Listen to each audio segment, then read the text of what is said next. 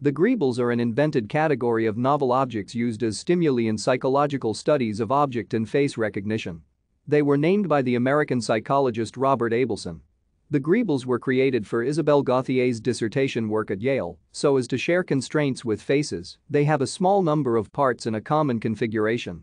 Greebles have appeared in psychology textbooks and in more than 25 scientific articles on perception.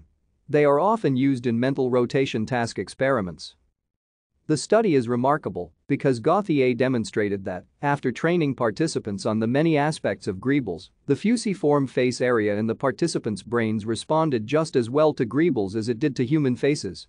This suggests that people can improve their ability to recognize faces and objects and that the fusiform face area is not strictly used for recognizing human faces.